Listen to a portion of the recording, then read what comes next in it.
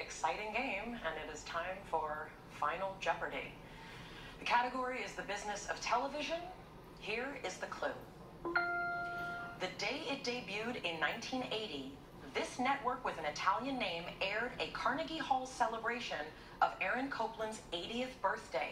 You have 30 seconds. Good luck.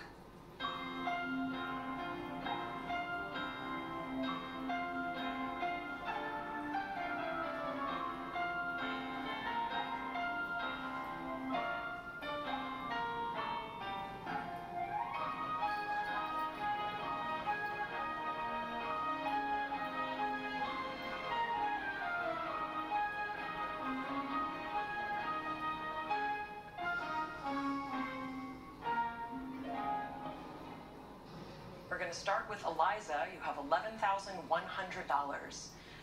I see you weren't able to come up with anything. What did you wager? $1,501. That leaves you with $9,599. Next, we're going to go to Amanda. You have $12,600, and you wrote, What is Bravo? That is correct. Began as an arts oriented channel, and now it runs a lot of reality shows. What did you wager? $12,600. That will bring you up to $25,200. Kevin, you have $16,400. What's your response?